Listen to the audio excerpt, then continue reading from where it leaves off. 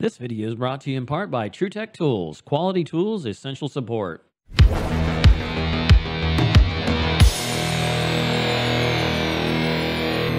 All right, guys, we are on a walk-in freezer that's not working right. Just got here, never been to this place before. So we got a beacon system. They're getting some codes on it. So we're gonna figure out what's going on here. Uh, E3 and see if we can figure out where that code thing's at. If not, I've got one out in my truck. That's what we got going on starters. Coil is clean, which is good. So we're not a freeze up. I think we got a sensor bad, but let's figure it out here. All right, I got two different books here. These things are kind of old, but they're for the 79A and I think 80A or something. So E3 is a suction temp sensor. Says check sensor and board connection. So let's check the resistance, see where we're at. Problem is that suction temperature sensor, if it don't have the suction temperature sensor, it can't do superheat. And since it's an electronic expansion valve, it doesn't want to flood the coil. So you can see the suction sensor comes right there on the suction line. Comes up, it's been butt connected to there, and there's the suction temp right on the board. So we can also go in there and could read temperature that it's reading and see what it's doing just by scrolling around through there. Monitor probably would work. Let's go ahead and check. I don't know if this meter's got high enough resistance capacity to do it or not. Let's see what we get. So with this meter, I have nothing. I don't necessarily trust that. Let's go ahead and check the defrost temp sensor and see if it shows on the meter. And the defrost sensor comes in at 36,000. So I think this meter will go up to maybe 60,000. That's the only thing bad about some of these Flukes. They just don't go real high in the, some of the resistance ranges when they're a clamp meter. I'm gonna say chances are that some of our issue there. We'll go ahead and just get a new sensor on there and see how it works. See if we can dig that out. They kind of got ice all back in here on that, which is great. Yeah, that's kind of stuck on there. But we'll see if we can pull that thing out. I don't know, that's really in there tight. I don't know. We'll see if we can get it out of there. That's in a copper well there, so I'm gonna get my hand torch out, a little warmth on there. Was able to break off some of that ice. All right, looks like I've got one here. And uh, so yeah, we'll get that on there. Get a couple more butt connectors because we don't have the exact fitting there. Actually, be better to use some of those, but eh. Go ahead and get her juiced up. All right, didn't record it because it's just hard to do with both hands, but just use the torch there. Kept it away from it, just let the radiant heat get over there to it. Was able to pull it right out. So we got that out. Go ahead and get our new one here in while it's still fairly warm, hopefully. There you go maybe. Yep, went right in the hole. There we go. We'll make sure we put a wire tie around that so it can't pop right back out. That will potentially condensate and the ice could shove it out.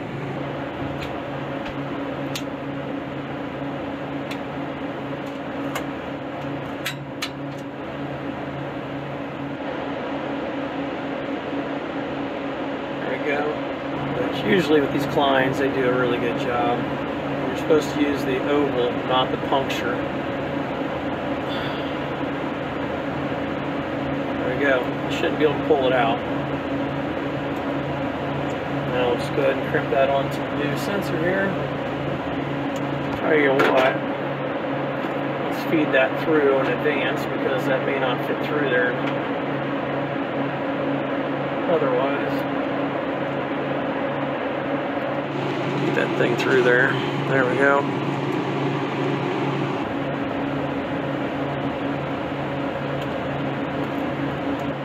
Not always the greatest grip. Sometimes it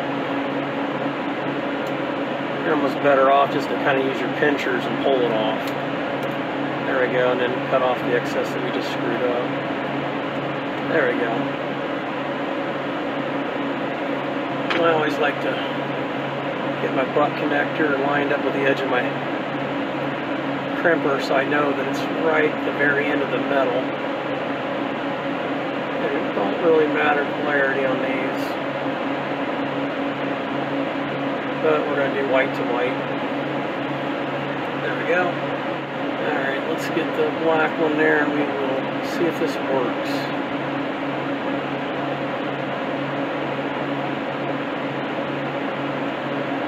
There we Tug good good. Okay, so we got a got her on there. Get it plugged back in. See if the E3 goes away. There we go. Defrost. Look at that. As soon as I plugged it in. Look at that.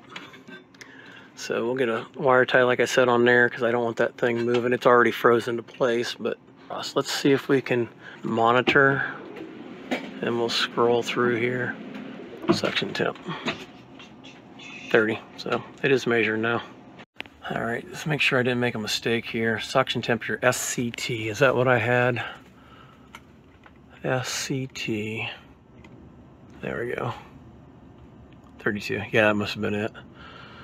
And I think, yeah, your adjustment thing there, that's for when you're actually selecting things, you know, whether it be your, what, superheat, things like that just for giggles, let's make sure everything's still um, set up correctly. I'm going to say, I think this is 404.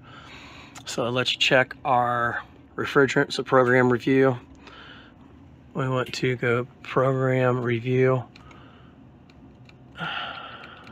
trying to remember. I don't do these very often. By the time you get done, you get really good at it, and then you forget. Monitor, superheat, soup. SUP 37, yeah. Just at least that's calculating it now. That means it's got a suction pressure. So that's the only other thing we want to make sure it works. So let's go for suction um, pressure. SCP. Let's go to SCP. There we go, suction pressure. 31, so it is measuring that. That's kind of interesting that it's that high in a pump down state when it's running, we'll check see what our superheat and stuff like that is. Let's look see where our valve steps, ESP, electronic step, I believe, zero. So it's all the way closed. That's pretty much where we wanted it. There was talk about it later that they really prefer a solenoid valve on these now instead of just that uh, valve there. As you can see, it thinks made America. I think that was probably really cheap. Not. Um, there's your suction transducer, just where you would expect it to be at. Box temperature right there. Let's see what our box temperature is. Let's go to outdoor temperature. That's useful. I would say they don't have that hooked up, about guarantee it. Well, not a surprise. This is a pretty big restaurant chain.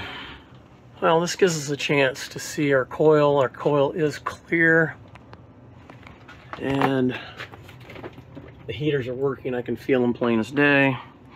Don't see any water building up on my drain, which that's a really nice drain. Let me see what our defrost temperature. If I get into the review, which I don't want to, don't want to kill the defrost. I'm gonna let it terminate on its own. Oh, something just clicked. Yeah, the monitor last defrost lapse time DFE. How long did it take last time? Eight minutes. So I mean, it's obviously calculating in advance that way it's not um, wasting time building up heat in the box. AC power voltage, AC, just for giggles. Let's see what the AC is. 26 volts, so whatever's going in must be accurate. Here's your defrost heaters, relays, fans.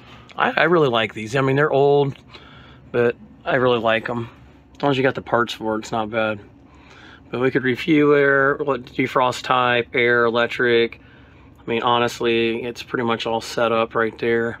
You really would think box temperature would be in here. Superheat, export, uh, expansion valve, suction temperature, suction saturation, vapor temperature, suction pressure, outdoor temperature, defrost temperature, defrost temperature, DFT. Let's see what our DFT is. There, see what temperature it is. I bet it's about 60 maybe where it's going to trigger. I know, you guys are probably like, well, it's this, it takes it off of that. Defrost temperature is probably what they're going to use, I bet because I don't think they've got a dedicated sensor just for that. And you can see the heat it's radiating off of the wall, which is probably why you've got this happening back here. Yeah, see that's that's generating that much heat that that's I had to chisel that off earlier. Yeah, there's massive heat there. It really could terminate sooner, but this is not usually one of our stores, so I'm not going to change anything. They've got parameters they want things done at. Yeah, it's 61, still not terminating. Notice they use the metal uh, all thread. We use plastic bolts. That way they don't uh, transfer through the temperature and they don't rust. All right, it was about 62 degrees that it terminated and then fan delay was very short. Because like I said, it's definitely getting a little warmer than it needs to. I'm gonna see if we can review. There, I had to hit clear test. So A&E is electric, that is your defrost type. Next one's gonna be refrigerant type. 404, that's correct. Box temperature, Let's see what that's set for. Negative 10, that sounds about right. SUP, superheat, set for 8. Little on the higher side, but I'm not to change it. SLA, slave operating mode, no, because it doesn't have another one, DF, DDF. A defrost fail safe time, no. I should have one. Number defrost 6. That's quite a few of them. And then DFF. Fail safe time, 35 minutes, okay. How did that get out of it? Defrost in temperature, which is the next one. 60, which went above it, but who knows. It was a delay. DFS, which uh, defrost start time offset hours, no offset. ALH is going to be alarm high, 5 degrees alarm uh, low temperature, negative 15. A LT is minutes and Fahrenheit or Celsius. So for the most part, everything looks like it's set pretty normal. I don't want to change anything major on it because like I said, places like where I'm working at have exact ways they want it done because every one of their thousands and thousands of stores um, are going to be exactly the same. Anyhow, that's pretty much about it other than going up on the roof and double check the uh, condenser. Took me a second to find it. Looks like a regular package unit, but there it is. Coil looks clean. Both fans feel like they're running. That one actually is running reverse, I believe.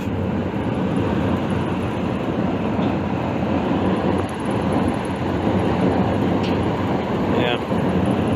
Yeah. Wow, look at this mess. See all the dark oil. Had some problems in here before. Wow. That's creative. Wire tie to wire tie. Well, I guess least wire tied, right? There's your outdoor sensor right there. Remote fan shut down. Have a sight glass somewhere in here. There we go. Looks clear to me. Clear sight glass, definitely not clean. This thing's been running on a prayer for quite a while. Wow. Yeah. That don't look very good. Cap's missing over there now.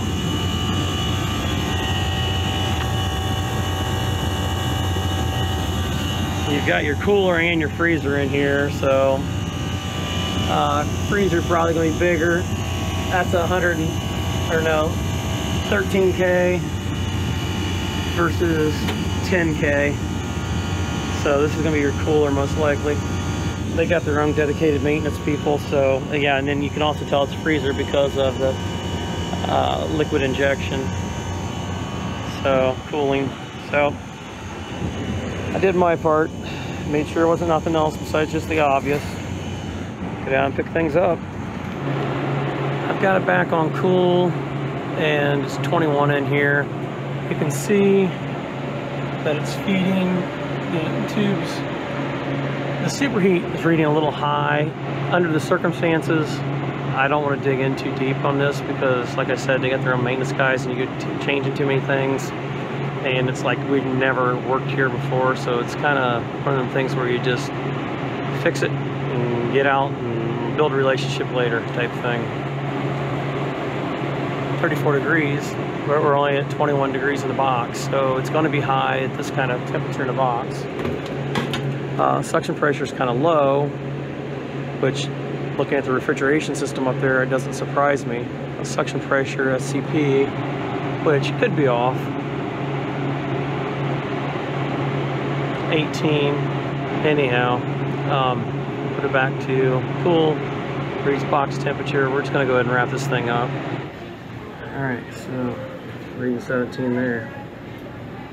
Good deal.